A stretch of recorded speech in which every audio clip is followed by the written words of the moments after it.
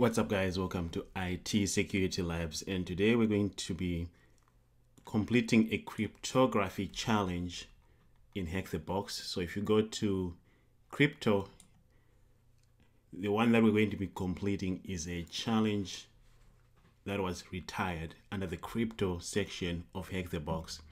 And this one is called You Can Do It.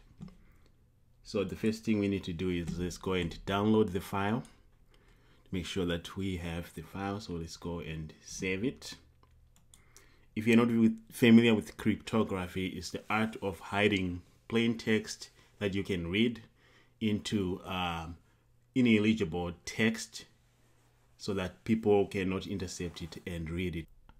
After downloading it let's go in here. You can see that it says you can do to zip.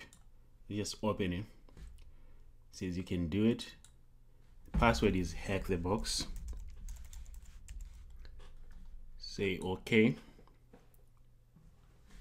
And here is the message. Let's look at this for a second. It says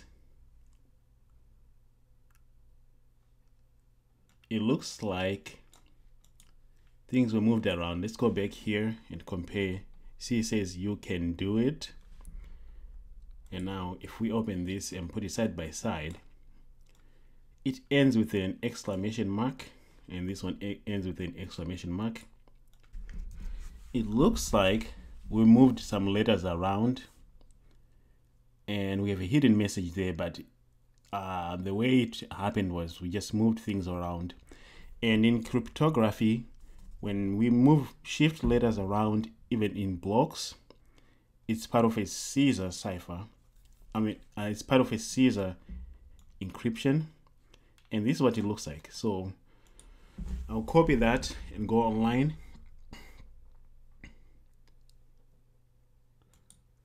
And type a Caesar Caesar box cipher that's my favorite website for working with Caesar ciphers.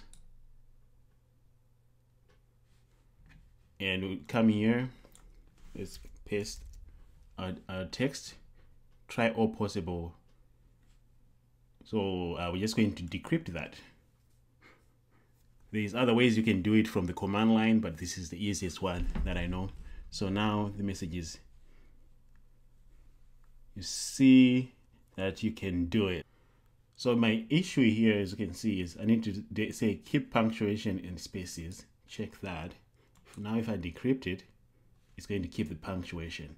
That's why my flag is saying incorrect because the exclamation mark was not being uh, part, part of that. So now all I need to do is add that and we should be good. Submitting the flag. Congratulations.